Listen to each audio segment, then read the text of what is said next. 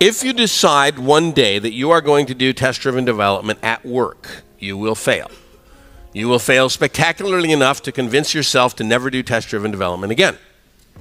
The reason for this is that test driven development is a rather significant skill. It takes months to get enough skill to bring it to work safely. So you cannot just leap in one day and say, you know what, we're doing test driven development and all of us are doing test driven development because it will be probably the worst week of your life. What you have to do is learn the skill externally. Now, how are you going to do that? How are you going to learn the skill externally?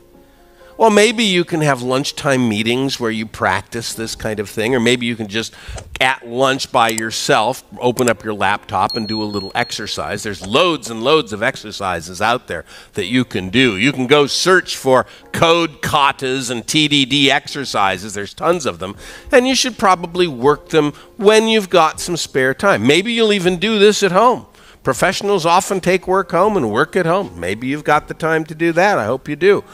But do not take it to work and think you're going to make it work there. Learn it well first. Get good at it. Know that you are good at it, and then bring it to work. And you will find it to be very, very rewarding at work once you're good at it.